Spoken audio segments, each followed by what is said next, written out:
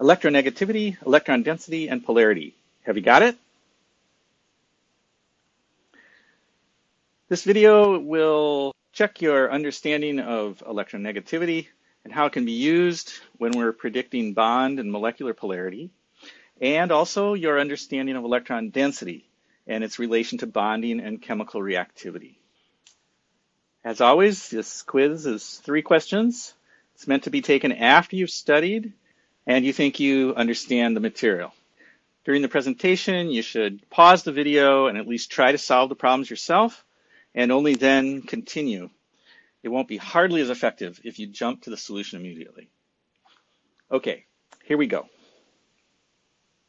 Number one, without looking at a periodic table, copy this figure of a partial periodic table to a sheet of paper and fill in the missing elements.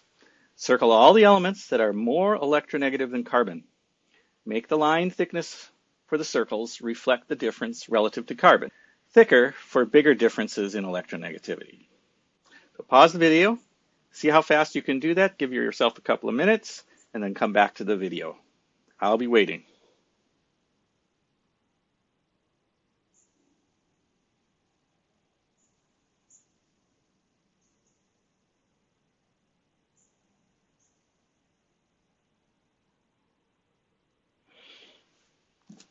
All right, you're back. How'd you do? Going across the table, we have boron, carbon, nitrogen, oxygen, and fluorine. Below fluorine, chlorine, bromine, and iodine. If you don't know those, just learn them. It's not that hard. Under oxygen, we have sulfur, much stinkier than oxygen. Under nitrogen, we have phosphorus. Don't do a lot with phosphorus in chemistry, but we'll see that come in when we do some more bio-related chemistry primarily. And below carbon is silicon. You might have heard about the possibility of silicon life forms or something like that, based on the fact that silicon is also tetrahedral, but it's actually not very much like carbon at all. What do you think about electronegativity? Well, nitrogen is more electronegative than carbon. Oxygen's even more electronegative than nitrogen. And fluorine over here is just, I can't make it super enough electronegative. Coming down from chlorine, we get chlorine, which because of its size and the diffusiveness of the electrons around it is not as electronegative as fluorine. Bromine, even bigger. And iodine, still electronegative, but not by much. It's much less electronegative, much larger than bromine, much larger chlorine, much, much, much larger than fluorine. So its electrons are pretty well dispersed around it. Sulfur, not quite so electronegative as oxygen or chlorine. Phosphorus, hardly electronegative at all. Uh, silicon, hardly negative, electronegative at all. And there you have it. That's pretty much the run of electronegativities on the periodic table. Okay? Next question. In each case below, indicate the hybridization at the central atom, sp, sp2, or sp3, and the geometry at that center, linear, trigonal planar, trigonal pyramidal, or tetrahedral. Mark all drawn bonds with bond polarity arrows and state whether the molecule overall is polar or nonpolar. Pause the video, take out a sheet of paper, see if you can do this. It'll take you a little bit of time, but it's worth it to go through this and make sure you've got this down.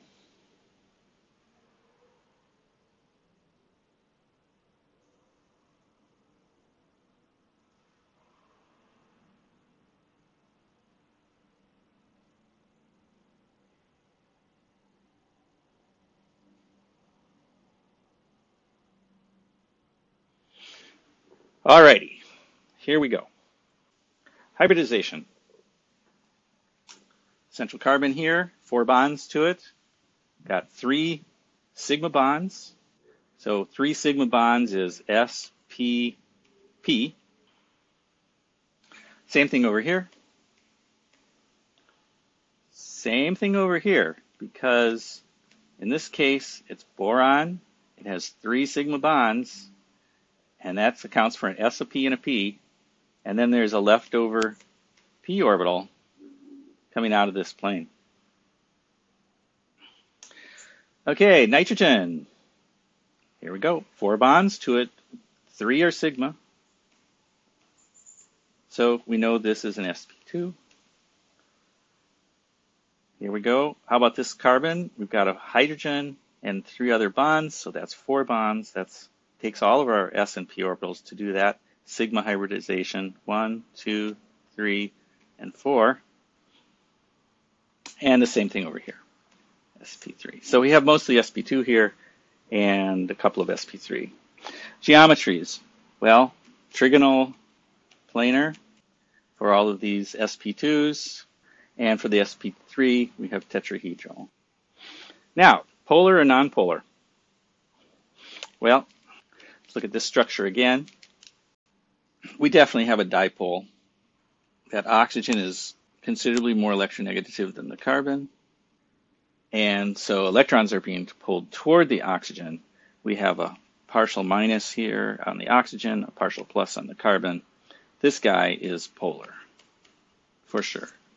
Uh, in the case of this uh, second one, same thing here. We have the carbon with a double bond, but we also have carbon with a nitrogen, and that's also a polar bond.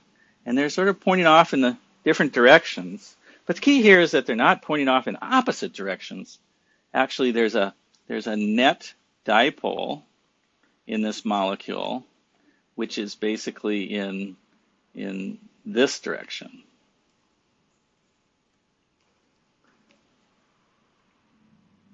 Or so it would look from this diagram. Okay, how about my boron with the three NH2 groups? Well, here we have boron definitely less electronegative than nitrogen. But here we have this trigonal planar geometry. And uh, these are exactly canceling each other out. So this guy is nonpolar. Down here, well, you can definitely see we've got a big dipole going in this direction. And you may not realize it at this moment, but if we were to draw the resonance contributor of this compound, we'd have the double bond over on the left and the O minus on the right. So actually, these dipoles are equal, but they're not opposite. And so even though there's a dipole here, we still expect this to be a polar molecule. In fact, this is HNO3, which is an acid, so it's very polar. All right, how about this dibromo compound here? Well, we've got a dipole going out this way, we've got a dipole going out this way, and the molecule is polar. And finally, here's one where we have dipoles coming out in three directions. So they seem to cancel, but if you think about it, it's tetrahedral. So these are not actually canceling because the carbon has pulled up out of the plane and and these these bromines are, are not in the same plane. So there's there's a net dipole in this direction from those three pulling out but also down. There's a downward component of each of these dipoles. So we have an overall net dipole. And this guy is polar. All right? How'd you do? One more? Okay, here's a little challenge for you. Consider the electron density, often shown as a heat map, on a van der Waals surface, where red is high electron density and blue is low. We often call these a MEP, or a molecular electrostatic potential map. Compare the map above for CH3CONH2, also known as acetamide, with your answer to question two.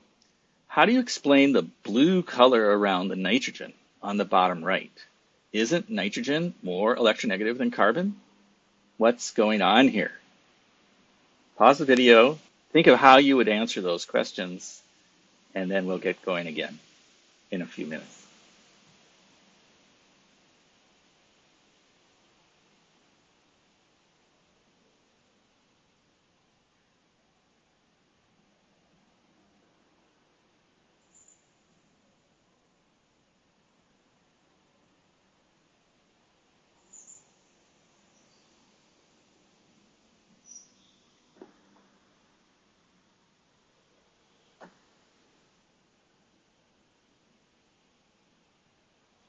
Okay, how are we going to explain this? Well, let's start with drawing our structure for acetamide. Now, if I were to ask you to draw a resonance contributor, you might draw something like this, where I simply take the electrons that are in the double bond and I assign them to the oxygen, okay? But also, the nitrogen has a lone pair there. Maybe what we could do is share that pair of electrons in its lone pair and produce a plus formal charge on the nitrogen. And I'm going to rewrite this right now just because I've been cutting a couple corners here with the H's out here because I'm going to talk about those in a second. All right, so if red is lots of electrons and blue is where electrons have been pulled away from the atoms, we have some hint of that in this resonance contributor. Now, I know this is not the most significant. If we were to say which of these is the most significant, we'd clearly say this first one we drew with no charges is the most significant. And yet, these other two are actually very helpful to us, and in particular, this one on the right here, because this structure gives us a clue what's going on with the electron density in the real molecule. What's happened is that all nitrogen is electronegative and draws electrons toward it. That lone pair has been shared with the system and basically shows up more significantly, more probably around the oxygen atom, where we see this minus charge in our structure. And actually, the question was a little tricky because it's actually not the nitrogen that is blue. It's the hydrogen atoms here. It's these hydrogens out here that have had their electron density pulled away from through the system headed toward that oxygen. And there's a sort of a secondary effect. The nitrogen's lone pair actually shared more than usually with the system to the oxygen, and the two hydrogens have their electron density also pulled away from them. And you'll see coming up here pretty soon that this is going to explain why this molecule over here is especially acidic, meaning we can pull these protons off that nitrogen relatively easily. Okay, so there you go. Remember, most heteroatoms are more electronegative than carbon, with electronegativity increasing from carbon to nitrogen to oxygen to fluorine across the periodic table. Fluorine is by far the most electronegative atom on the periodic table.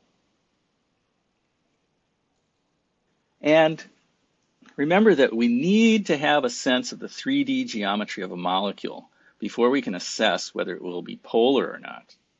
On the left here we have BF3. It's planar, it's nonpolar, and you really have to have a, that sense of 3D to appreciate that. On the right we have ammonia, which is non-planar. You can see that the nitrogen is not in the plane of those three hydrogen atoms. It's, it's offset some. We call that trigonal pyramidal. And it's really quite polar. And considering resonance contributors can give us a clue to the distribution of electron density in a molecule. Now we're going to see that electron density and thoughts about and thinking about electron density is a critical skill in organic chemistry. And to help us out here, drawing resonance contributors can be a terrific help when we're making predictions and explanations relating to acidity, basicity, and chemical reactivity in general. We'll be talking a lot more of this soon. One important thing to realize here is that sometimes it's the less significant resonance contributors that really give us the clues we need. So though they're less significant, they actually can be more informative. All right, well, I hope that helps, and I hope you've got it.